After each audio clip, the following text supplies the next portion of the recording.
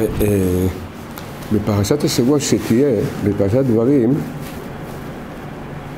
משה רבנו, ספר דברים הוא קצת שונה מהחומשים הראשונים. במה הוא שונה? זה לא מה שהקדוש ברוך הוא אומר למשה להגיד לעם ישראל. עד עכשיו זה היה וידבר, ויאמר השם אל משה, דבר אל בני ישראל לאמור. אז הקדוש ברוך הוא אומר למשה רבנו במפורש. פה, חומש דברים זה מה שמשה אומר את זה מעצמו לעם ישראל. זה ידוע שזה היה ב-37 ימים האחרונים של אה, חיי משה, מראש חודש שבט, הוא התחיל להגיד את זה, עד ז' באדר זה יום הפטירה, כל חומש דברים נאמר ב-37 ימים האלה, וזה מה שמשה אומר מדעתו לעם ישראל. וכתוב בהרבה בספרים הקדושים שהחומש דברים הוא מעין ממוצע בין התורה שבכתב לתורה שבעל פה. התורה שבכתב זה, זה נבואה, וידבר השם אל משה לאמור. הקדוש ברוך הוא אומר למשה רבנו מה להגיד. התורה שבעל פה זה סברות וחוכמת החכמים. זה הגמרא, כמו שאמרו, רבי יהודה אומר, רבי שמעון אומר, זה התורה שבעל פה. החומש דברים שמשה אומר מדעתו מצד אחד, מכיוון שהוא הנביא, הנביא בעם ישראל, וכל מה שהוא יודע וקיבל זה מהקדוש ברוך הוא, אז מצד זה יש להסתכל על מה שהוא אומר כנבואה. אבל מצד שני הוא אומר את זה מדעתו, אז זה חוכמה. לכן זה ממוצע בין הנבואה לבין החוכמה. זה קצת באופן כללי על העניין של חומש דברים, שאנחנו מתחילים בשבת אה, אה, לקרוא אותו. ומשה רבנו אומר, מזכיר בעצם, בפרשה הראשונה, פרשת דברים, משה רבנו מזכיר לעם ישראל הרבה מאורעות שקרו להם במשך כל הארבעים שנה במדבר. ועכשיו הוא, הוא מזכיר להם, אומר, השם אלוקינו דיבר אלינו בחורב לאמור רב לכם שבט בהר הזה. זה הכוונה, זה היה למעשה בשנה השנייה שעם ישראל יצאו ממצרים, הם היו שנה בהר סיני, שנה ועוד כמה ימים, הם היו בהר סיני, סליחה, שנה ופחות כמה ימים, שנה ופחות עשרה ימים, הם היו בהר סיני, ואז זה היה ב-20 לאייר, כ' באייר, הקדוש ברוך הוא אמר למשה רבנו, רב לכם שבט בהר הזה, תתחילו לנסוע, תתחילו לנסוע לכיוון ארץ ישראל, ואז הוא אומר, ואמר לנו הקדוש ברוך הוא, פנו וסעו לכם, ובואו הר האמורי ואל כל שכניו בערבה, בהר ובשפלה ובנגב ובחוף הים, ארץ הכנעני והלבנון עד הנהר הגדול נהר פרת. ראה נתתי לפניכם את הארץ, בואו ורשו את הארץ. אז- הקדוש ברוך הוא אומר למשה רבנו בעצם, דבר על בני ישראל, תיסעו לארץ ישראל. אל- אל- אל- הוא אומר להם, נתתי לפניכם את הארץ, אל תפ- אל תפחדו, תיסעו לזה, תיסעו לארץ ישראל. ואז רש"י כותב פה על הלשון הזאתי, ובואו הר האמורי ואל כל שכניו בערבה. מה, מה הכוונה, מה זה הלשון הזאת, בואו אל הר האמורי ואל כל שכניו. מה הכוונה אל כל שכניו? עם ישראל, בפשטות, מה הוא צריך להגיד להם? תיסעו לארץ ישראל, תתחילו לנוע לכיוון ארץ ישראל. הר האמורי זה ארץ ישראל. אז ככה זה היה נקרא. מה זה אל כל שכניו? למה הקדוש ברוך הוא הוסיף בציווי להגיד, ובואו אל כל שכניו? אז באמת רש"י כותב את זה בשם, זה, זה מדרש חז"ל, הוא אומר, אל כל שכניו, רש"י אומר, עמון ומואב והר שעיר. זאת אומרת, פה צריך להבין מה הכוונה. היהו, יש את ארץ ישראל. נלמד קצת את המפה. יש את המפה של ארץ ישראל. והגבול המזרחי של ארץ ישראל זה הירדן, הלמעלה זה הכנרת, בצפון זה הכנרת, הירדן יורד עד ים המלח. וידוע שארץ ישראל זה מערבית לנהר הירדן. זה איפה שאנחנו נמצאים, זה מערבית לנהר הירדן. מזרחית, מה יש מזרחית לנהר הירדן? שהיום זה מדינת ירדן. מה?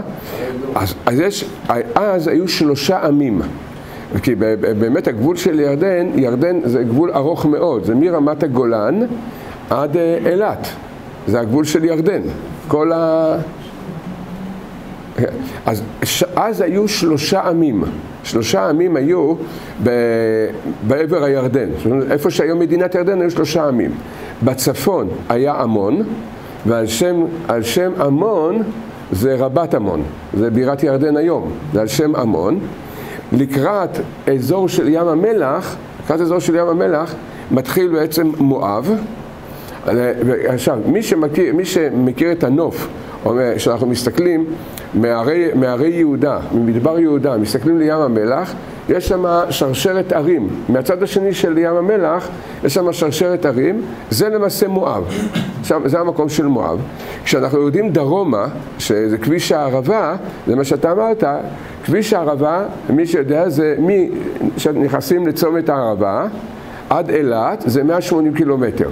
לכל אורך ה-180 קילומטר האלה, כשנוסעים לכיוון אילת, דרומה, מצד שמאל, שזה בעצם מזרחית, יש שם שרשרת ערים. אם, אה, אפשר לראות את זה, הרבה פעמים רואים את הגוון, יש לאדמה שם יש גוון אדום. זה, ולכן זה נקרא הר אדום. ושם היה, היה בעצם אה, אדום שעיר, הצאצאים של עשיו. זאת אומרת שבעצם מזרחית מזרחית לארץ ישראל, איפה שהיה מדינת ירדן, היו שלוש עמים. בצפון עמון, במרכז מואב ובדרום אדום.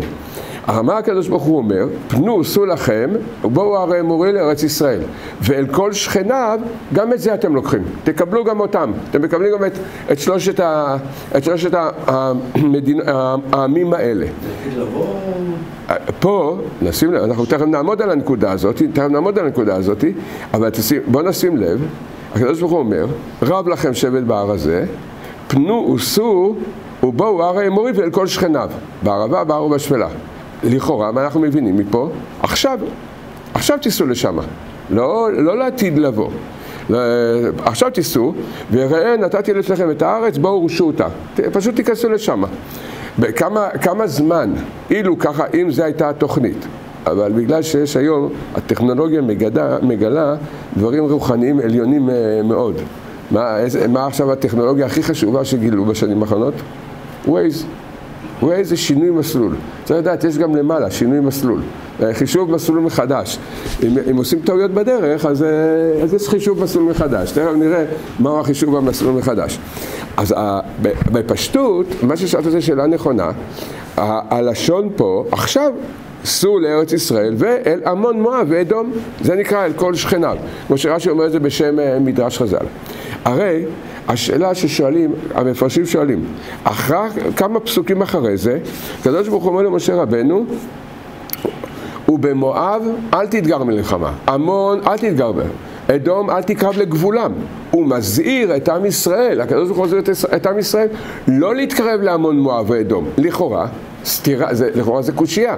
פה הוא אומר מפורש, פנוסו לכם, ובואו אל הר האמורי ואל כל שכניו. מפורש הוא מצווה ללכת. פה הוא אומר לנו, מיד אחרי זה הוא כותב, לא תקרב אל מואב, לא תקרב אל, אל אדום וגם אל, אל עמון מואב ואדום, לא תקרב למלחמה. כמובן שזו שאלה ששואלים את, את השאלה הזאתי, איך זה מסתדר, שתי הציוויים האלה.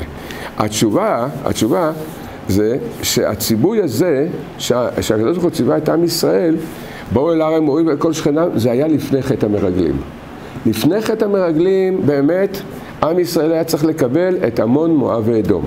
אחרי חטא המרגלים, ווייז, טעות, עשיתם טעות, דיברתם לשון הרע, שינוי מסלול מחדש, חישוב מסלול מחדש, אין עכשיו, לא מתכוונים לעמון ומואב ואדום. אל תתגר בם למלחמה. זאת אומרת, יש איסור, יש איסור להילחם בהם, איסור מהתורה להילחם בעמון מואב ואדום. זה מה שאנחנו לומדים פה בפרשה. שואל רבנו הארי הקדוש, באמת למה? מה קרה? מה, מה הסיבה שלפני חטא המרגלים עם ישראל כן אה, זה, היה צריך לקבל את המדינות האלה, ואחרי חטא המרגלים לא. מה, מה קרה? והאם נקבל את זה? מה, מה, מה עתיד בעצם האזור הזה להיות? אז אומר רבנו הארי הקדוש, שאם אנחנו נסתכל בפרשת לך לך, שהקדוש ברוך הוא הבטיח לאברהם אבינו את אה, ארץ כנען אז, ארץ ישראל, שזה אז נקרא ארץ כנען, הוא הבטיח לו שמה, אם אנחנו נראה בפסוק, עשר, ארץ של עשרה עמים, עשרה עמים. ואילו יהושע בן נון, הקדוש ברוך הוא אמר למשה שיצווה אותו למעשה ארץ של שבעה עמים. זאת אומרת, יש הבדל של שלושה עמים. אם נסתכל, נשווה את העמים, איזה עמים נחסרים אצל יהושע בן נון, שלא, שלא צווה עליהם, זה הקיני, כניזי וקדמוני. תודה רבה. אצל אברהם אבינו כתוב את מה שכתוב האמורי, החיטי, היבוסי וכן הלאה, החיבי, כתוב, מה שכתוב אצל יהושע בן נון, אצל אברהם אבינו כתוב את השמות האלה עם עוד שלוש שמות. איזה שלוש שמות? קני, כניסי וקדמוני. זה למעשה, והקדוש ברוך הוא אומר לעם ישראל, לעתיד לבוא, בזמן שיבוא משיח צדקנו, אז אני אתן לכם גם את הקנייני, כניסי וקדמוני, וזה מה שמצוי מאוד בלשון חז"ל, זה נקרא גבולות ההבטחה.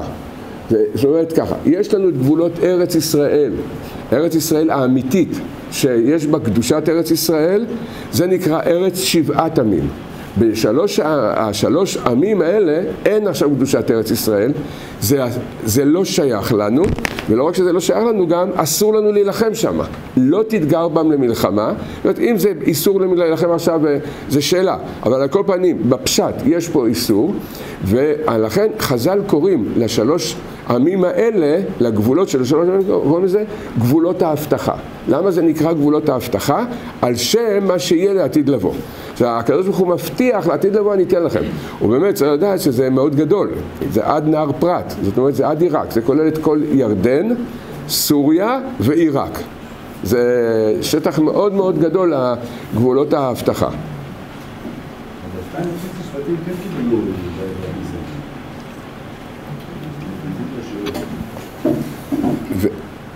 זה, זה חז"ל מפורש, כי בעמון מואב ואדום אסור לנו להילחם, אבל מכיוון שסיחון ואוג כבשו אזורים מעמון ומואב, היה היתר להילחם בהם, כי הם, הם בעצם, בזה שהם כבשו את זה מהם, הם התירו לנו, זה נקרא, תיארו את עמון ומואב בשבילנו.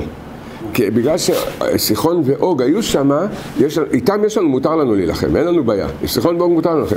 עם המון מואב ואדום אסור לנו להילחם. יתר על כן, אומר, אומר רבנו ארי, הוא שואל את השאלה, הרי למעשה, זה כתוב בגמרא במסכת בבא בתרא, השאלה הזאת. הרי אצל אברהם אבינו כתוב קני, כניזי וקדמוני. פה כתוב עמון, מואב ואדום. אז מה, מה הקשר בין הקני, כניזי וקדמוני לעמון, מואב ואדום? אומר רבנו הארי, אומר ככה, קיני זה עמון, כניזי זה מואב, קדמוני זה אדום. אז בעצם זה באמת אותם עמים רק בשמות אחרים, בשמות אחרים. אומר רבנו הארי הקדוש, מדוע בעצם אסור לנו להילחם עם השלושה עמים האלה? מה, מה הבעיה בעצם להילחם איתם? יש פה בעיה צבאית? אז אה, נביא עוד איזה, עוד אה, מטוסים אה, מארצות הברית, נייבא, נייבא מטוסים מארצות הברית. מה הבעיה בעצם להילחם עם העמים האלה? הוא אומר יסוד מאוד גדול. רבנו ארי אומר יסוד מאוד גדול. הוא אומר שהמלחמה שקורית בעולם הזה על ארץ ישראל, אז מי שלא יודע, לא מאמין ולא הולך על פי התורה, אז אה, הוא מסתכל על זה כמלחמה של כוחות צבאיים. כן, יש לנו נשק, אין לנו נשק, רבים, מתי וכן הלאה. אבל בוודאי שהמלחמה על ארץ ישראל, מה שקורה בשטח, מה שקורה במציאות זה השתלשלות ממלחמה ומבירור רוחני. זה לא מתחיל פה, זה מתחיל למעלה ורק מתגלה, מתגלה פה למטה מה שבעצם המלחמה הרוחנית. כל שטח מארץ ישראל יש קדושה מיוחדת. בכל שטח מארץ ישראל יש קדושה מיוחדת. וממילא יש הערה רוחנית מיוחדת, וממילא גם יש עבודה שקשורה לאותו שטח. לכן אנחנו יכולים לראות בארץ ישראל שיש מקומות מאוד שונים, ב, ב, עד כדי אפילו זה מפתיע כמה הם שונים בדפוסי ההתנהגות ו, ו, ו, וכן הלאה. הדבר הזה. השורש של כל זה זה בעצם המציאות הרוחנית השורה בכל מקום. אבל איך אנחנו יכולים לדעת מה השורשים הרוחניים של כל מקום? ומה העניין של כל מקום, מה התפקיד של כל מקום. למעשה, על זה יש, כתוב קצת בספרים הקדושים, וגילו טפח וכיסו אלפי טפחים. זה אחד הדברים הנסתרים שלנו, זה בעצם לדעת את מהות קדושת ארץ ישראל. אבל יש דרך, יש דרך כן לדעת. יש דרך כן לדעת.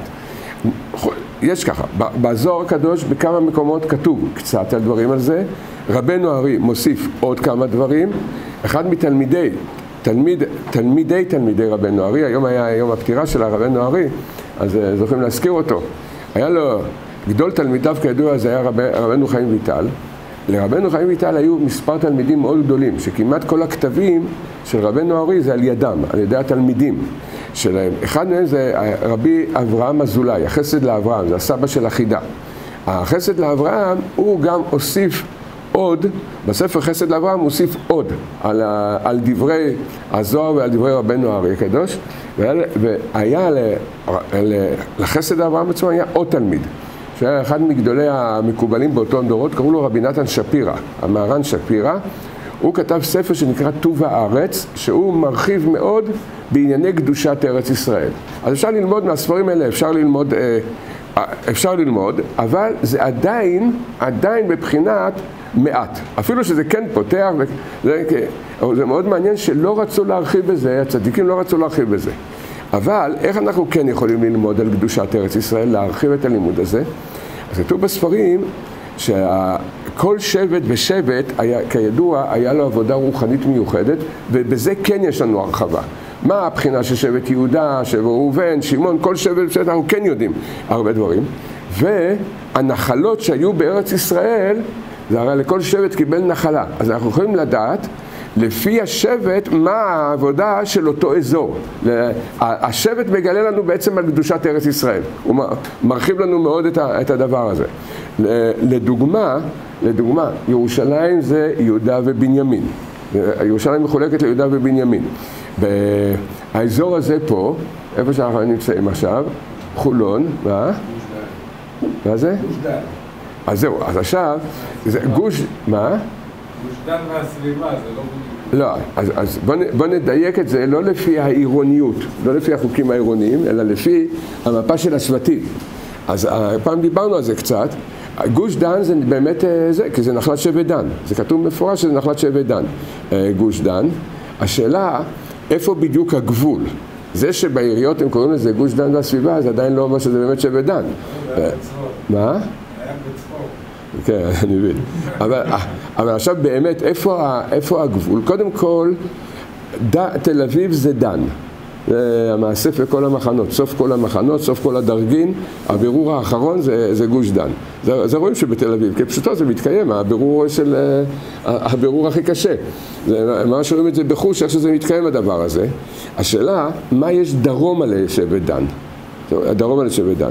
דרום על שבט דן זה שבט יהודה. כל דרום הארץ זה שבט יהודה.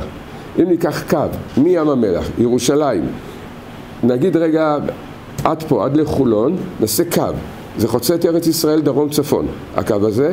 כל דרום הארץ זה שבט יהודה. שבט שמעון קיבל נחלה בתוך שבט יהודה.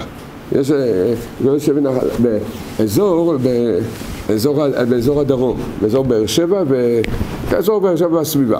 אבל פה זה ודאי דרומה לשבט דן, באזור הזה זה שבט יהודה. פה, פה זה המפגש בעצם בין דן ויהודה. איפה בדיוק הגבול בין דן ליהודה? עכשיו, יש קצת בזה, אה, יש בזה קצת דעות, במפרשים יש קצת דעות. אבל נגיד מה הדעה, כנראה הדעה העיקרית, תכף נגן גם למה. בספר יהושע כתוב מהם הגבולות של שבט דן, אז זה משפך הירקון יורד לים, זה הירקון יורד לים, זה אזור פתח תקווה, יורד לים, יורד דרומה, וכתוב בספר את יהודה, עד מול יפו. ככה זה הלשון בספר יהושע, עד מול יפו. עד מול יפו, השאלה אם יפו של אז זה יפו של היום. זה, אנחנו לא יכולים לחתום על זה בוודאות שזה יפו של אז זה יפו של היום, אבל כנראה שכן, כנראה שכן. למה? מדוע? כיוון ש... ביפו יש מפרץ מיוחד שלכן עשו שם את הנמל. זאת אומרת, זה מקום שמבחינת התוואי השטח נוח להקים שם נמל. לכן יש שם נמל שהוא כבר, אנחנו יודעים, מאות שנים. אלפי שנים. זהו, אז השאלה אם הוא אלפי שנים. אה, אלפי שנים. מצד שתמיד כשמקימים נמל, הולכים, לתו... מקימים את הנמל במקום שהוא נוח מצד הזה, זאת אומרת שיש איזה מפרץ, ואז יותר נוח להקים את הנמל. לכן מסתבר שליפו של היום זה יפו של אז. כי אין סיבה שהם לא יבנו את uh, זה. ואף על פי שבאמת עבר הרבה זמן, מדובר פה על uh, שלושת אלפים שנה בערך, זה באמת זה הרבה זמן, אבל עם כל זה, תוואי שטח כאלה לא משתנים בדרך כלל, אלא אם כן יש איזה משהו מיוחד. אז מסתבר שזה, זה, אז אם זה נכון, אם זה נכון, אז קודם כל זה דעה במפרשים, זה דעה מפורשת במפרשים, יש כאלה שאומרים שהגבול של דן עובר יותר דרומה, יש כאלה שלוקחים אותו יותר דרומה. אז יוצא שחולון, בת ים, יפו, לפי הדעה שהיא הדעה העיקרית זה שבט יהודה. אז פה זה שבט יהודה. לפי זה יוצא שזה שבט יהודה. מה שכן אנחנו רואים שזה חיבור וקישור וחיבור בין דן ויהודה. אז מה, כמו שאמרנו, בערך את ה... את ה איפה בדיוק הגבול המדויק אנחנו לא יכולים לדעת, אבל אנחנו בוודאי נמצאים איפשהו בגבול של דן ויהודה. מעניין מאוד, מה שכתוב הרבה הרבה בספרים הקדושים, דן ויהודה, החיבור של דן ויהודה זה חיבור הגאולה. זה, זה, זה, זה, זה המשיח. לכן, יש בזה הרבה הרבה דברים מאוד מאוד עמוקים, כמו שבעבר קצת דיברנו על זה, שהמשיח כידוע הוא משבט יהודה, משיח בן דוד הוא משבט יהודה, אבל הרבה מפרשים, מה? אבל זה משבט דן. אבל כתוב שהאימא של משיח בן דוד היא תהיה משבט דן. אז מפה אנחנו רואים שצריך להיות חיבור בין דן ויהודה. לכאורה, מה הסיבה העמוקה והפנימית שאימו של משיח צריכה להיות משבט דן? כי ודאי שזה לא מקרי, ודאי שיש בזה איזשהו יסוד מאוד עמוק. הדן, היהודה זה המלכות, מבחינת זה מלכות של עם ישראל, זאת אומרת זה הקדושה, אבל כל העניין של הצדיק, המשיח, המלך, הצדיק, הצדיק הגדול, כל עניינו, איך הוא מביא את הגאולה? על ידי שהוא מתחבר עם אלה שנמצאים בסוף. זה לחבר את, ה, את הראש עם הסוף. עד שלא, מחבר, עד שלא מתחבר סוף כל דרגים, סוף כל המדרגות. עם ראש כל המדרגות אין בעצם תיקון וייחוד לקראת, ה, לקראת, ה, לקראת הגאולה. ו... כן, כן, כן, זה קשור לכמה תורות של רבנו שהוא מדבר על זה. בואו נעשה הסכם שאנחנו לא מפריעים לו עד סוף השיעור אף אחד. תודה. אז מצד אחד, כתוב ששבט דן הוא נקרא מאסף לכל המחנות, הוא סוף הבירורים. כתוב שבספרים הקדושים כתוב שהוא סוף כל הבירורים בשבט דן, ומצד, ש... ומצד זה כתוב בפרשת אה, בשלח, במלחמת עמלק, ויזנב בך כל הנחשלים אחריך, מי זה הנחשלים אחריך? רש"י כותב שמה שבט דן. תמיד החלשים בעם ישראל, נחלשים זה הנכ... הנכ... הנחשלים זה הנחלשים, בשינוי אותיות. אז תמיד אלה שנחשלים ונחלשים זה משבט דן, כי שם הנחש נוגע, לכן בנחשלים יש את העניין של נחש, את המילה נחש, ששם, אבל מכיוון שהם קרובים לעניין הנחש וקרובים לעניין של הסטרא אחא, ועל כן גם יהיה מצוי שיפלו בידיו של היצר הרע, זה יהיה מצוי, וזה מה שכתוב, ויזנב בך כל הנכשלים אחריך, וזה מסודות הנהגת הקדוש ברוך הוא. ואלה שהם נחלשים ונכשלים, ובבחינת סוף המחנות, ברגע שהם חוזרים בתשובה, שם זה מתהפך, מה שרציתם להגיד, מת, מתכלית הירידה לתכלית העלייה. שם יתגלה הגבורה הגדולה ביותר. דווקא בשבט הזה יתגלה הגבורה הגדולה ביותר. זאת אומרת, כל אחד שעבר את סוף כל דרגין, יש לו בכוח את הכוחות הכי גדולים בעם ישראל. לכן כתוב בזוהר הקדוש פרשת בלק, לא היו גיבורים בעם ישראל מעולם כמו בשבט דן.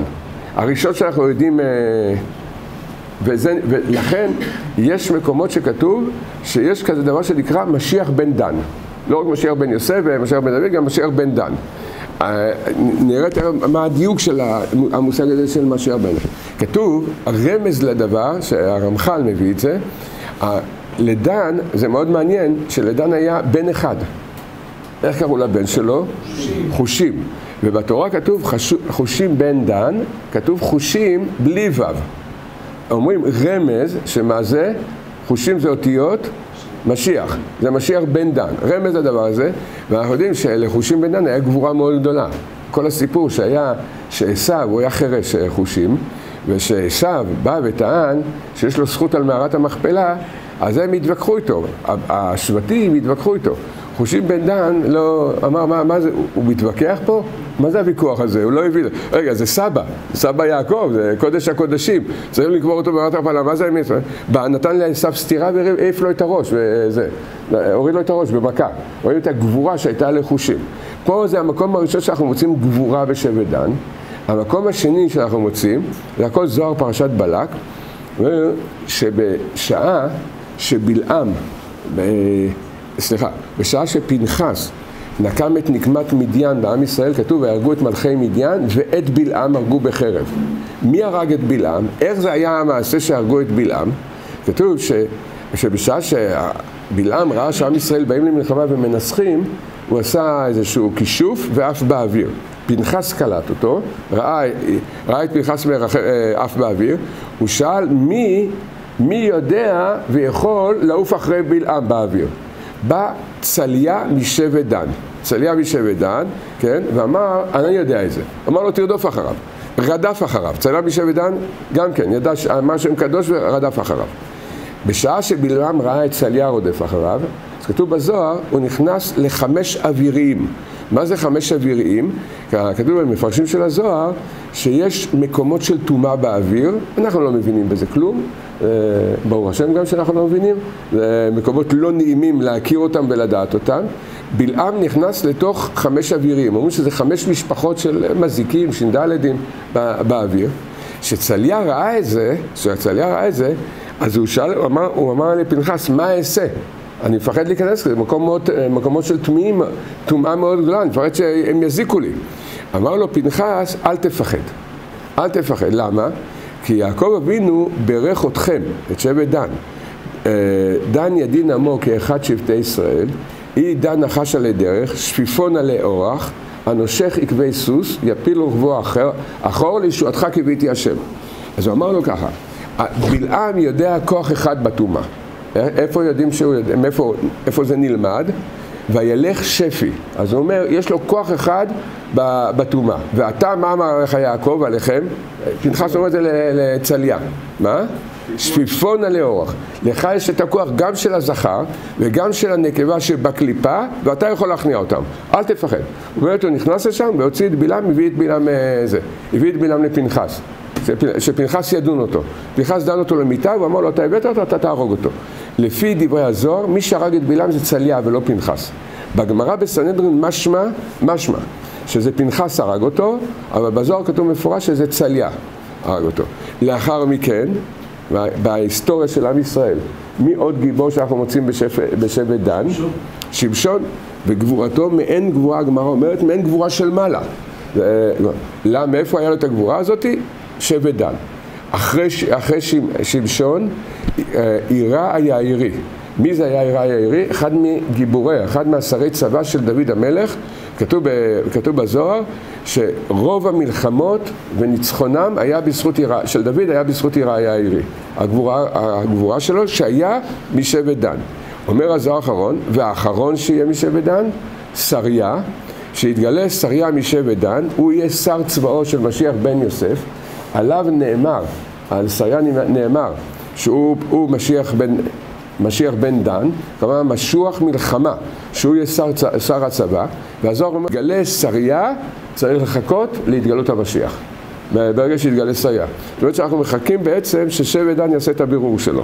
זה ברגע, זה ברגע שבתל אביב יחזרו בתשובה, אז אה, זהו, כבר אה, אפשר, אה, אפשר ללכת לרוסיה ברגל, לתת להם מכות לפוטין, זה לא לפחד מאף אחד. אבל רק צריך שתל אביב יחזרו בתשובה. מה? נכון, יש שם התעוררות של תשובה, אבל צריך עוד קצת, עוד, עוד, עוד התעוררות, עד שיתגלה שריה משבט דן, שריה מתל אביב יתגלה. מה?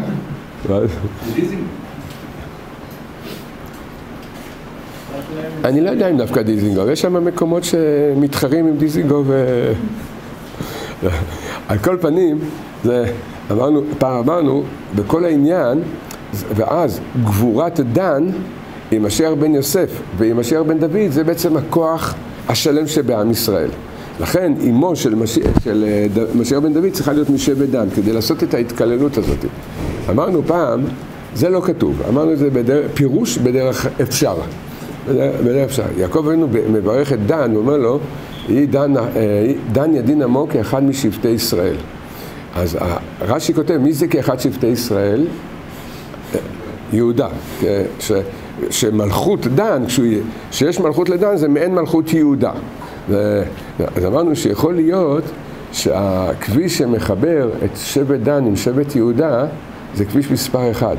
אז יכול להיות שיעקב אבינו רמז על כביש מספר אחד, שהוא אמר, דן ידין עמו כאחד שבטי ישראל. אז כל פעם שנוסעים בכביש מספר אחד, לחשב, לחשוב, לכוון, לעשות איחוד דן ויהודה. זה איחוד הגאולה, לחשוב על הנקודה הזאת. מי שנוסע שם. וזה. אז על כל פנים, זה היה אה, אה, עוד דוגמה לעניין של קדושת ארץ ישראל, לקדושת ארץ אה, ישראל. ב... אומר רבנו הרי הקדוש, שכל, אחרי חטא המרגלים, זה מה שגרם לחטא המרגלים, אחרי חטא המרגלים, עם ישראל ירד במדרגה רוחנית, אנחנו גם הפסדנו בעצם את הכניסה אז, כי לולא חטא המרגלים היו נכנסים מיד לארץ ישראל, היינו כבר שלושת אלפים שנה בגאולה, אם אה, לא היה חטא המרגלים. אז אומרת, ירדנו בעצם מהמדרגה שאנחנו יכולים כבר לפעול את הגאולה השלמה, ולכן, לפני חטא המרגלים, היינו יכולים, היינו צריכים לקבל את אדום, עמון, מואב ואדום. אחרי חטא המרגלים, בגלל חטא המרגלים, ירדנו במדרגה, אנחנו כבר לא יכולים לקבל את עמון, מואב ואדום עד שלא יבוא משיח צדקנו. זאת אומרת, יש פה בעצם הירידה בבחינה הזאת. אומר רבנו ארי הקדוש, וכל זה למה? מה, מה קרה פה? נסביר קצת על פי הסוד. רבנו ארי מסביר על פי הסוד שבכל קומה, כל קומת הקדושה כידוע יש עשר ספירות, והעשר ספירות מחולקות לשתי קבוצות, בכללות, רק לשתי קבוצות. קבוצה אחת זה נקראת, הקבוצה העליונה, זה נקרא הגר. גר זה ראשי תיבות ג' ראשונות, ג' ספירות ראשונות. זה כתר חוכמה בינה, ואילו מתחת לזה יש את הספירות התחתונות, שנקרא חסד גבורה, תפארת נצח עוד יסוד מלכות. אומר רבנו אריה הקדוש, שקדושת ארץ ישראל מחולקת באופן כזה, שארץ שבעת העמים, וזה די כשבעה, כנגד השבעה ספירות תחתונות. כנגד החסד גבוהה תפארת נצח. אומר, והשלוש עמים שמעבר לירדן, הם כנגד הגימל הראשונות של הקדושה, ומכיוון ששם מתגלה, שם אנחנו נגלה את הגימל הראשונות של הקדושה, ממילא זה לעומת זה עשה אלוקים. יש כנגד זה גימל ראשונות דקליפה, שמסתירים את קדושת ארץ ישראל במקומות האלה, ונגד הכתר חוכמה ובינה דקדושה. אי אפשר להגיע לזה רק על ידי שנברר את הכתר חוכמה ובינה דקליפה. ואין לנו אפשרות לעשות את זה עד שיבוא משיח צדקנו. ולכן אסור לנו להילחם איתם. אבל האיסור להילחם איתם, וממילא גם יהושע בן נון, אה, אסור היה לו להילחם שמה ורק הציווי היה על פה, על השבע שבע עמים פה, שזה כנגד השבע ספירות תחתונות. ממילא כל הנקודה, כל הנקודה הזאת, כי אין באפשרותנו, אחרי חטא המרגלים, אחרי חטא המרגלים, אין באפשרותנו לברר את המקום הרוחני שנקרא כתר חוכמה ובינה. דקליפה, כדי להשיג את הקדושה שמה, ואנחנו מחכים למשיח צדקנו. הוא יעזור לנו לברר את, ה, את הבחינה הזאת. זה, רבנו ארי כותב את זה במפורש, את הדברים האלה. אם נתבונן קצת בעומק הדבר, קצת ניכנס לעומק הדבר, כמובן שהמושג של ספירות, עולמות רוחניים, דברים מאוד, מאוד עמוקים ופנימיים, אבל מה שייך לנו קצת להבין בזה? מה זה שייך קצת להבין בזה? החלוקה לשתי קבוצות זה אומר שבעצם יש פה שני סוגים של בירור רוחני. כן, לברר את זה, בגדו, אה, לברר את הטומאה כדי להשיג את הקדושה החבויה בתוך זה. השבע מידות התחתונות, שזה חסד, גבוהה, תפארת, שזה ארץ ישראל, זה כנגד המידות הלא טובות שיש לנו בלב, זה כנגד מידות הלב. זאת אומרת, יש פה מידות לא טובות, כעס, הקפדה, גאווה, תאוות, שזה אותו משפחה, אותה הבחינה, זה נקרא השבע תחתונות. כשיהושע, כשהקדוש ברוך הוא אמר, בזה אתם יכולים להילחם, זאת אומרת שהקדוש ברוך הוא אמר לנו, זה העבודה שלכם. העבודה שלכם זה תיקון המידות על ידי התורה והמצוות, לימוד התורה, אתם יכולים לברר, יש לכם אפשרות לברר את המידות שבלב, את המידות הלא טובות שבלב, וממילא להשיג את המידות הטובות שבלב. כגון, יש לאדם מידת כעס, אדם עובד על מידת הכעס, אז מתגלה בעצם שכל הכעס, הפנימיות של מידת הכעס, זה רחמנות. והתאווה ידועה, זה, זה דבקות בקדוש ברוך הוא. זה, זה נקרא הקליפה שמכסה על הפרי, וזה העבודה שלנו. אבל העבודה של הגימל הראשונות זה עבודה ממהות אחרת לגמרי. זה עבודה לברר בעצם את הטעויות ואת ההטעיות של היצר הרע במחשבה. וזה זה יותר גבוה, לברר את, את הטעויות ואת ההטעיות של היצר הרע במחשבה, זה רק נוכל לברר שיבוא משיח צדקנו. ולמה? מדוע? מכיוון שהבירור השכלי, הנכון, המדויק, האמיתי, זה אי אפשר לעשות אלא על ידי הצדיק שבדור. זאת אומרת, בכל דור ודור יש צדיק שבדור, ואחת לכמה דורות יש צדיק שהוא כולל את כל, את כל נשמות ישראל. זה מה שברסלב בדרך כלל קוראים לזה המושג שנקרא צדיק האמת. הצדיק הכולל, שהוא כולל את כל נשמות ישראל. ואת המקום הזה, עם ישראל לא יכול לברר, כי זה טעויות מאוד מאוד דקות, זה, זה בירורים מאוד מאוד קשים לברר אותם, ואנחנו לא יכולים לברר את זה. אז מי כן יכול לברר את זה? הצדיק יכול לברר את זה. ואז בעצם מה שדורש מאיתנו העבודה זה להתבטל לצדיק שיכול לברר את זה. אבל ברגע שאנחנו, חסר לנו בביטול לצדיק שיכול לברר את זה, ממנו אנחנו כבר לא יכולים לברר את זה. אז מה אנחנו צריכים לתקן בעצם? את הביטול לצדיק. הכוונה, ההתקשרות, ההתחברות לצדיק, היא, אז החיבור ביחד, היא תעזור. אז היא תעזור לנו לברר את זה. וזה המהות בעצם של חטא המרגלים.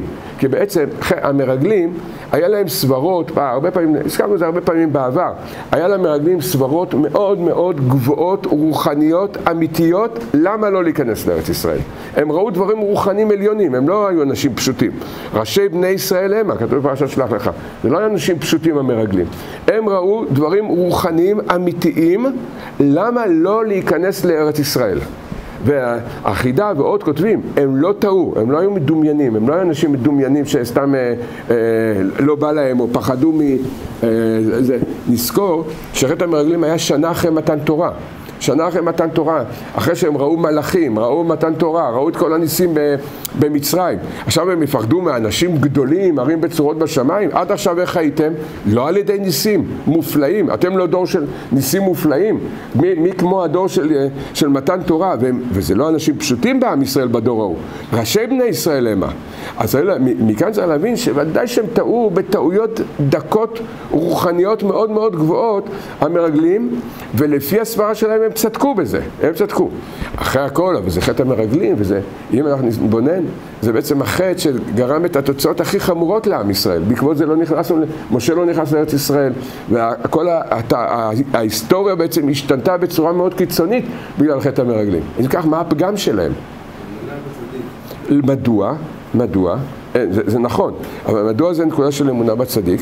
מכיוון שמשה, אתם ראיתם דברים רוחניים אמיתיים למה לא להיכנס לארץ ישראל. יפה, ראיתם, הבנתם, השגתם. החידה קצת מסביר את זה, זה דברים באמת עמוקים מאוד. יפה, השגתם. מה משה רבנו אמר לכם? בסדר, אתם השגתם את ההשגה שלכם, אבל משה רבנו מה אמר לכם? הנה, כתוב פה בפרשה, פנו וסו אל הר האמורי ואל כל שכוניו. כנסו עכשיו, עכשיו אנחנו נכנסים לארץ ישראל. מה היה הניסיון שלהם, של המרגלים? וצריך לדעת, זה לא היה, זה לא היה ניסיון פשוט. מה היה הניסיון שלהם? הניסיון שלהם היה בעצם, ב, אף על פי שיש לנו השגה ויש לנו ידיעה, ואנחנו רואים דברים עליונים, אם משה אמר כך, זורקים את השכל, מבטלים את השכל שלנו למשה רבנו. זה בעצם היה חטא המרגל, המרגלים. וממילא מה אנחנו רואים שהבירורים, שהטעויות שלהם, איפה הם היו? בגימל ראשונות. הם טעו בגימל ראשונות, לכן, בגלל שפגמו בגימל ראשונות, עד שעם ישראל לא יתקן את פגם האמונה בצדיק, עד, עד אז אי אפשר בעצם להגיע לבירור של, של הגימל ראשונות. עכשיו יש לנו עבודה כדי להגיע לשם, שזה צריך לקבל את, את דעתו של הצדיק, לקבל עלינו את דעתו של הצדיק, נתבטל לצדיק, ממילא אז הוא יוכל לעזור לנו לברר את זה. כי הטעות שלהם היה בגימל ראשונות. הם טעו טעו, טעויות רוחניות דקות מאוד, לא, זה לא היה משהו פשוט ומובן מאליו. אחד הראיות לזה, שכלב בן יפונה, שהיה אדם כל כך גדול, הוא היה צריך לעזוב את המרגלים וללכת למערת המכפלה ולהתפלל מעומק הלב שהקדוש ברוך הוא יזכה אותו, שהקדוש ברוך הוא יזכה אותו לברר, לברר את זה.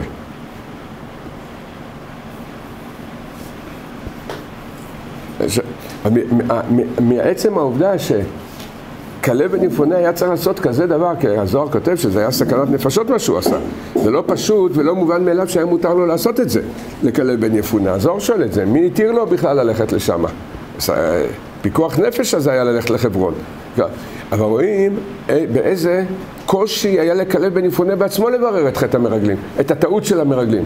זו הייתה טעות אה, מאוד קטנה. לכן המרגלים, השורש של הפגם שלהם זה היה פגם אמונה בצדיק.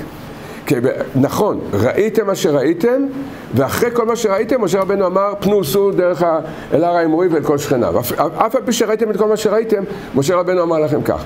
אילו היו זורקים את שכלם, את דעתם והבנתם באותו זמן, באותו זמן, למעשה אנחנו כבר, כמו שאמרנו קודם, שלושת אלפים שנה בגאולה. משה רבנו ועם ישראל היו נכנסים לארץ ישראל, משה רבנו היה בונה את בית המקדש, בונה, את בית המקדש, וכבר היה, והוא היה מקבל את הנשמה של המשיח. כתוב בספרים הקדושים. מתי זה היה צריך להיות בעצם, כל התהליך הזה? מתי, מתי המרגלים חזרו? יום שישי. יום שישי הקרוב. חטא מואב, בחטא באב. חטא באב הם חזרו, ואז הם הוציאו, מה שאמרו מה שאמרו, והוציאו דיבת הארץ, והעלונו כל, כל העדה בלילה ההוא, כזה בכייה לחינם, בכייה לחינם, מתי זה היה?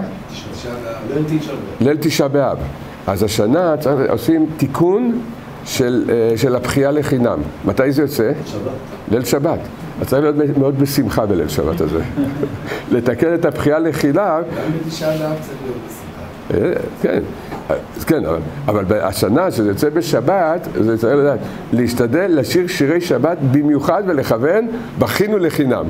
לכוון את, את הנקודה הזאת. ו, אבל אילו עם ישראל, זה רבי צדוק עושה את החשבון הזה, אילו, אילו המרגלים היו חוזרים ואומרים, הכל בסדר, בוא ניכנס. מה היה קורה?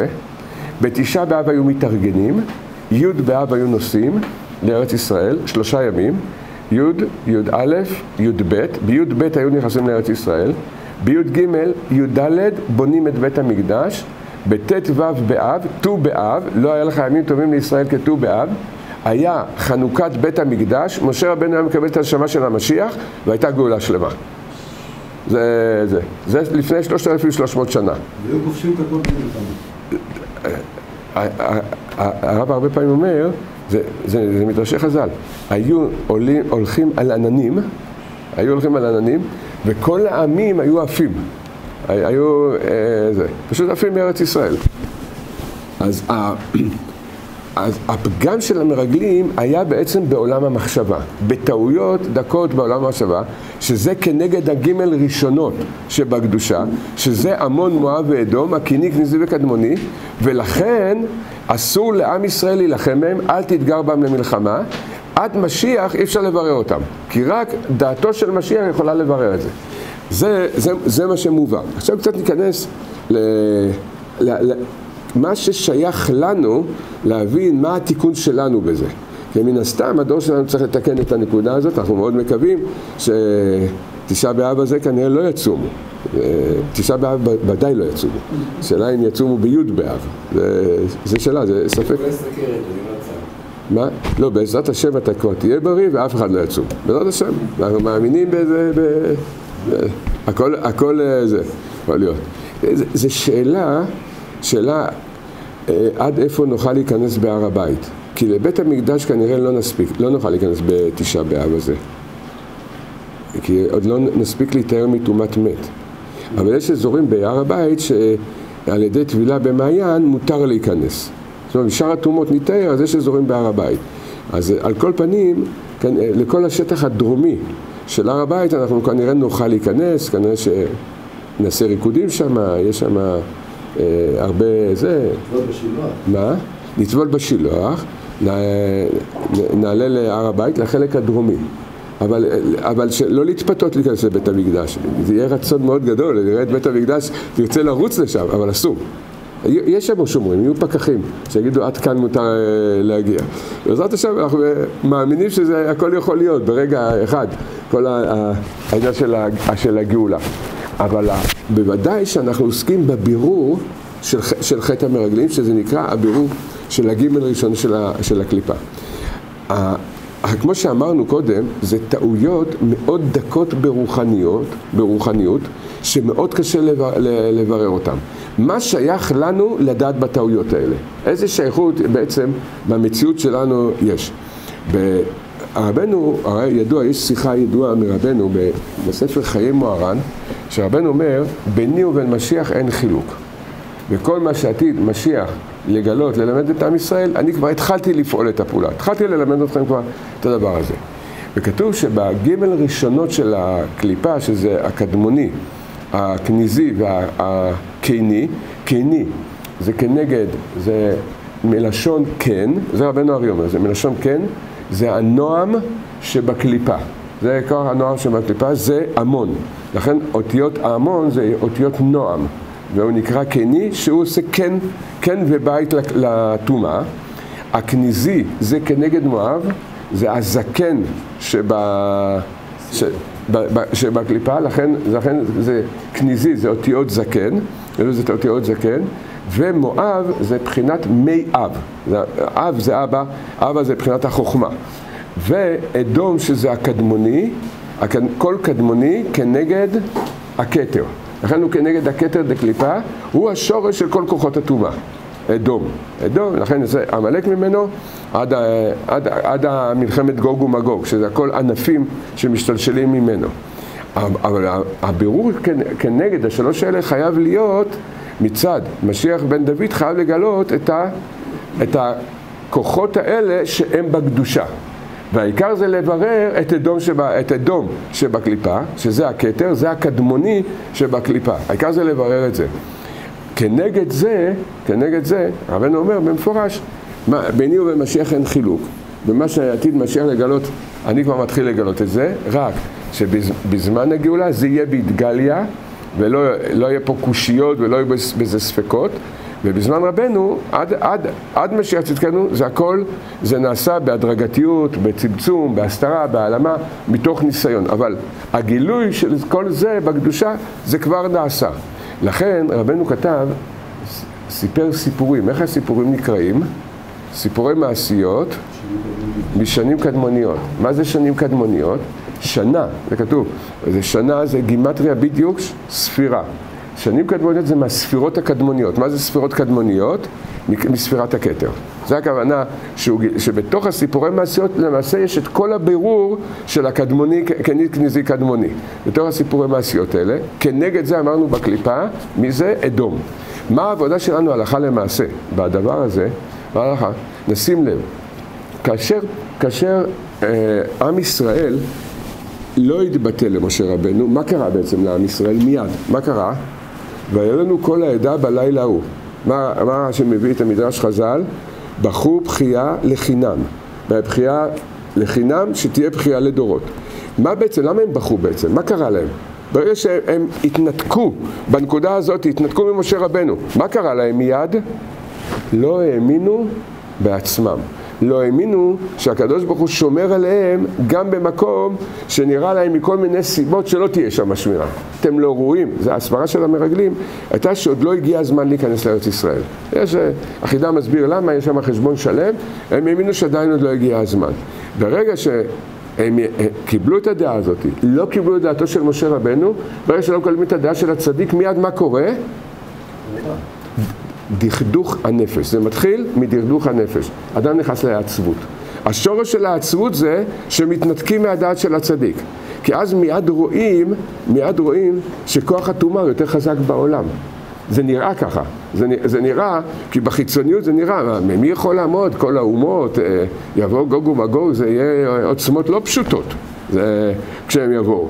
כמו שאנחנו רואים עכשיו את הטומאה בעולם, כל המדיה, כל, ה, כל הבחינה הזאת, זה נראה עוצמות, מי יכול לעמוד כנגד, כנגד זה? מי יכול לעמוד כנגד זה? ברגע שאנחנו מתחברים עם הצדיק, הצדיק מאיר בנו ומגלה לנו את הדעת שבעצם זה הכל עשן, אל תיבהל משום דבר, אין פה שום דבר בכל, בכל זה. אבל בלי הצדיק זה מקבל ממשות. מקבל מציאות, ישר בוכים. זה כל הבכייה, זה הפחדים, זה, זה הדאגות, זה החרדות, זה כל מה שהדיכאונות שקורה היום, זה מההתנתקות מהדעת של הצדיק. הצדיק, הוא מגלה לנו בעצם שאין פה כלום. זה, זה שום דבר. הבירור הזה, זה לא בירור פשוט, כי אנחנו חיים את המציאות. אנחנו רואים דברים שקורים במציאות, ואז המציאות נראית לנו מאוד מאוד אמיתית, בעלת תוקף. המציאות נראית לנו בעלת תוקף, והבירור של הגימל ראשונות זה בירור המדמה במקום הזה, בירור הדמיונות במקום הזה. אבל זה לא פשוט, זה קל להגיד את זה, אבל כמה קשה לברר את זה. שיבוא, שלא יהיה לאף יהודי, אבל אם נניח שיש כזה מצב ששתי אריות רעבים באים לבן אדם, ואומרים לו, תשמע, אריות זה דמיונות. אתה תגיד עכשיו לבן אדם שעכשיו עומד לבד, מישהו משמיע לו ברמקול באיזה מגדל, אל תפחד, האריות האלה זה דמיונות. זה, יכול להיות, בתור בדיחה זה יכול להיות טוב, מי יכול לעמוד בזה? יש בירור מדמה במדרגה כזאת. הגמרא אומרת, רבי שמעון בן חלפתא נפגש בשתי אריות רעבים. אז אה, הוא ראה שהם כבר שלושה, כמה ימים, הגמרא אומרת, הם הסתברו כמה ימים רעבים. ראה אותם רבי שמעון בן חלפתא, אמר, מה, מה זה? אה, היה לו קושייה על הקדוש ברוך הוא. הכפירים שואגים לטרף ואתה לא נותן להם את אוכלם בעיתו, איזה רחמנות על האריות האלה. ממש רחמנות, תראה איך הם רעבים. מה, רק מהדיבור הזה של רבי שמעון בן חלפתא ירדו שתי חתיכות בשר משמיים לאריות האלה. אכלו אחת והשאירו לו אחד. לרבי שמעון בן חלפתא. יש מדרגה כזאתי, אבל אנחנו מבינים כמה אנחנו רחוקים. מה, איפה מיקוד העבודה שלנו בנקודה הזאת? בסוגיה המאוד מאוד קשה, סוגיית הדור. יש ייאוש או אין ייאוש בעולם? זו השאלה. האם יש ייאוש בעולם או אין ייאוש בעולם? איך אנחנו יכולים לדעת לאיזה צד אנחנו נוטים? לפי הרגשת הלב שלנו. אם אנחנו קצת עצובים, קצת פוחדים, קצת דואגים, קצת מדוכאים, זאת אומרת שיש לנו התחברות והתקשרות עם ה... מי שאומר יש ייאוש בעולם. נשים לב, אדום, זה השורש, זה הכתר דקליפה. הכתר דקליפה זה יש ייאוש בעולם. הכתר דקדושה צועק אין ייאוש בעולם כלל. זה מלחמה, זה לעומת זה עשה האלוקים. לכן, אדום, שהוא כנגד הכתר דקליפה, היום אחד הגילויים היותר אה, עוצמתיים של אדום, איפה זה, איפה, באיזה, איפה זה נמצא? ב- מה? ב- האמת היא שהיום בהר סיני זה לא כל כך, המקום כן, אבל אין שם כל כך הרבה אה, אדומים. זה, הוא אמר בארצות הברית, אבל אה, זה נכון, אבל אחד הגילויים, אולי אפילו הגילוי הגדול ביותר שלהם זה בנצרות. הנצרות זה אדום. זה, נשים לב, שימו לב, אמרנו שאדום זה כנגד, רבנו ארי אומר, אדום זה כנגד הכתר דקליפה. אם נתבונן, מה כל היסוד של הנצרות, כל הנצרות על איזה יסוד היא קמה בעצם? על מה היא קמה? על זה שיש ייאוש בעולם. למה? מה הסיבה? הקדוש ברוך הוא, הברית החדשה, הרי כל הטענה. מה? שהקדוש ברוך הוא אה, התייאש מעם ישראל, מה אומר? הם אומרים, זה לא שהם אומרים, כן? נתתי לכם תורה, מתן תורה, הם לא, הם לא מכחישים את זה, הפוך, הם אומרים, היה מתן תורה, הקדוש ברוך הוא נתן תורה לעם ישראל, קראת איתנו ברית, והיה לנו את משה רבנו, בית מקדש ראשון, בית מקדש שני, כמה צ'אנסים אפשר לתת לכם? את- אתם לא רואים לבד שזה לא הולך? אז הקדוש ברוך הוא, זה, אמר, אין מה לעשות, אתם לא יכולים לתקן את העולם. זה היסוד של הנצרות. זה, זה היסוד שיש ייאוש בעולם, שהקדוש ברוך הוא התייאש מאיתנו, זה כל היסוד של הייאוש, של, של הייאוש. לכן הצדיק צועק, אין ייאוש בעולם כלל. זה, זה, זה שקר. זה, הם, זה מאוד מעניין, אני אספר לכם, זה אחד מגדולי הצדיקים לפני 300 שנה, רבי משה דוד ואלי, הוא היה תלמיד חבר של הרמח"ל, ידוע, הספרים שלו זה, זה קדושה ועומק נוראי מאוד, הספרים של המשנה דוד.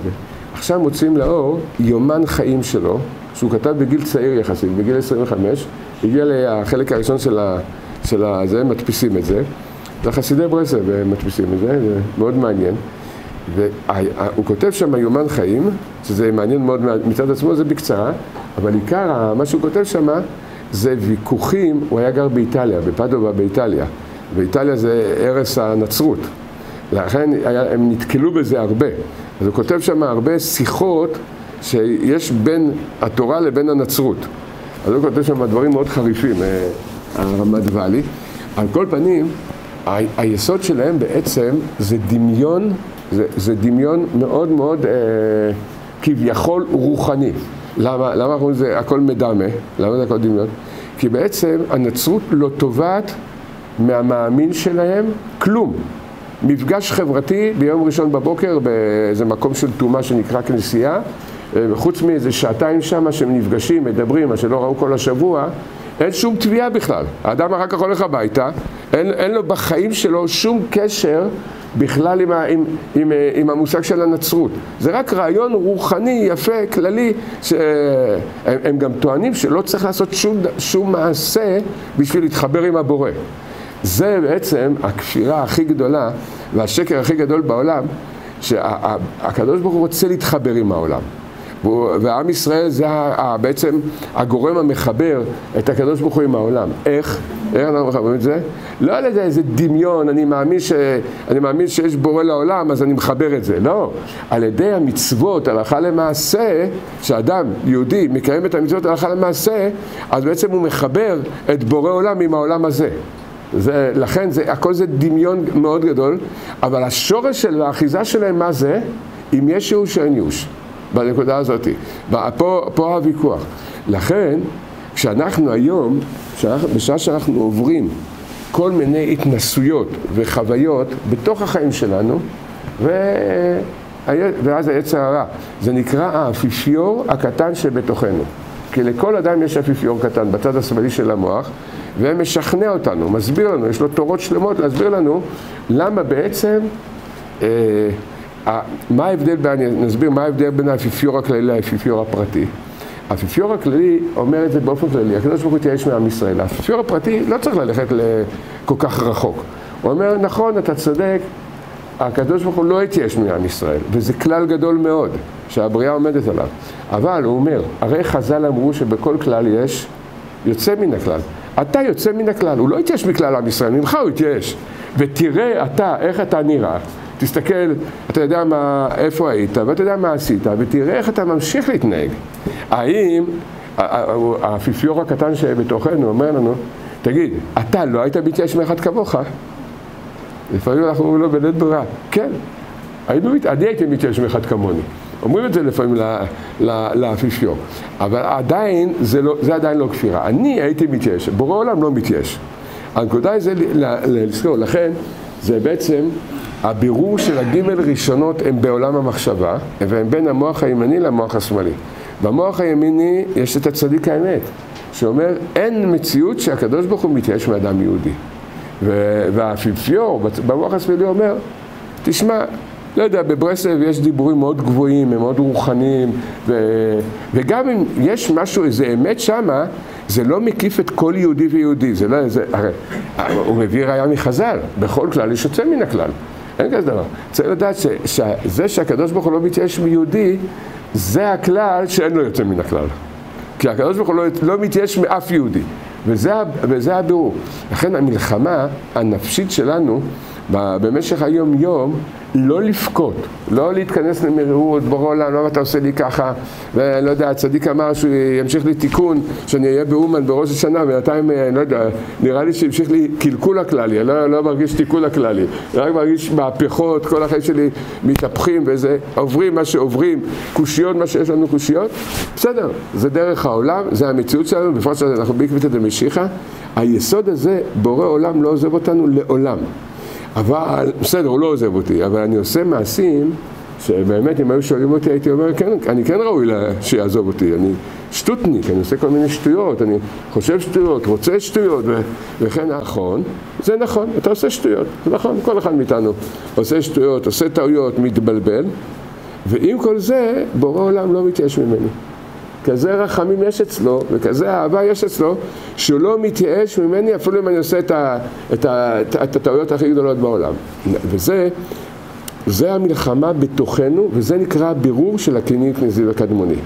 זה כל הבחינה הזאת, זה, זה הבירור, כדי להמשיך את אור הגאולה לעולם, זה כל, כל אחד בדלת אמות הפרטיות שלו, זה לברר את, את הנקודה הזאת, וגם, והבירור הכי קשה זה, שבמקום שאומרים לאדם, מראים לאדם, אומרים לו, תסתכל אתה על האמת, תסתכל אתה איך אתה נראה, איך אתה מתנהג.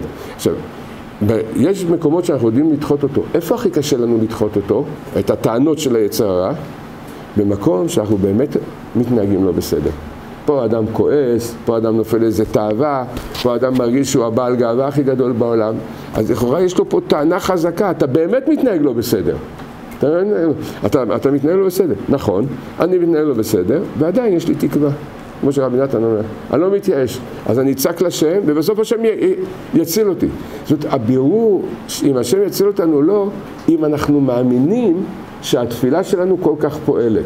ושבורא עולם לעולם לא עוזב אותנו, ובוודאי שעל ידי התפילות, אפילו שעדיין לא הצלחתי לעשות שום תנועה לצאת מהמקום שאני נמצא, עצם הרצון והתפילה, ברגע שאנחנו מצליחים לשמוח מתוך האמונה הזאתי, שהקדוש ברוך הוא לא יעזוב אותנו, ויתהפך הכל לטובה, על ידי זה אנחנו מבררים את, את הבירור של חטא המרגלים. זה למעשה אחת הנקודות העמוקות ביותר בתיקון חורבן בית המקדש. כי אנחנו רואים שחורבן בית המקדש נמשך מבחור בחיית חינם לדורות. בחיית חינם זה מה שאדם אומר כל הזמן לא טוב לי, לא אוהבים אותי, לא רוצים אותי, בעולם שונא אותי וכן הלאה, כל הדברים האלה. התיק... זה הבחיית חינם, אנחנו רואים שזה, זה הבחייה הזאת גרמה לחורבן בית המקדש. התיקון זה על ידי שאנחנו מבינים ומאמינים ומשיבים את זה ללב וצועקים בעומק הלב, השם, תעזור לי שחס ושלום לא, אני לא אחשוב לרגע אחד שאתה לא אוהב אותי. שלא יהיה לי איזה מחשבה אחת לרגע אחד שאתה מתייאש ממני, נמאס לך ממני, עם כל השטויות שאני עושה, כל המקומות שאני, שאני נופל. ברגע שאדם מתחבר בנקודה הזאת, הוא מתקן את הגימל הראשון שבקדושה. אנחנו רואים מפה שהיסוד של האמונה, כמה גדול הנקודה הזאתי להאמין שבורא עולם לעולם לא עוזב אותנו. זה היה שורש החורבן, וזה חטא המרגלים, ומכיוון שהם נפלו לזה כי הם לא האמינו למשה, עכשיו על ידי שאנחנו מאמינים לצדיקים שמלמדים אותנו שאין שום ייאוש בעולם הכלל, ואנחנו שמחים, על ידי אנחנו מגיעים עד שורש תיקון חורבן בית המקדש ותיקון חטא המרגלים. להקדשת השיעורים של הרב להצלחה, לזיווג, שלום בית, רפואה, לעילוי נשמת. התרומה עבור עזרה להפצת התורה. ניתן לפנות לטלפון 02-650-2929. תודה רבה ותזכו למצוות. הירשמו לערוץ של הרב ויישארו מעודכנים.